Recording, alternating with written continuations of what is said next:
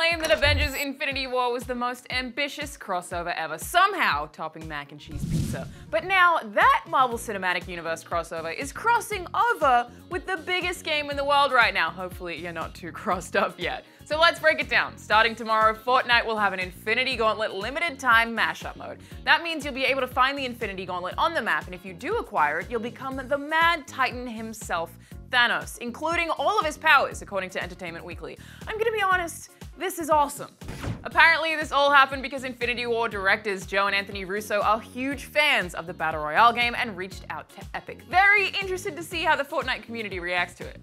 Apparently, there's always more episodes in a banana stand. Prepare to taste the happy because Netflix has revealed that Arrested Development Season 5 is returning on May 29th. And judging from the trailer, the Bluths are as dysfunctional as ever, even if they are giving themselves the Family of the Year award. It's also worth mentioning that season 4 of the show just got a huge recut put on Netflix too. It's called the Season 4 Remix, and it puts the season into chronological order, which, yeah, if you didn't know, it wasn't originally. It was pretty weird. So the remix might be a good thing to watch before the end of the month.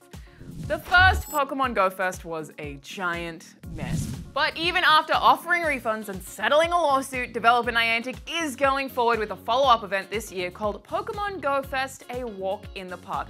That name has to be intentionally a kind of stab at how difficult their first year was, right? Anyway, the fest will return to Chicago on July 14th and 15th, but this time, Niantic plans to spread players out over a 1.8 mile walking course in Lincoln Park to avoid cellular strain. I know IGN editor Andrew Goldfarb will be there trying to catch them all, and hey, he even talked to Niantic CEO John Hanke about this year's Pokemon Go Fest. So read all about it on IGN. And that's your daily fix for May 7th. Now that you're all caught up, check out our video where we highlight 9 Infinity Gauntlets you can buy right now. I mean, that's if you don't want to search for one in Fortnite.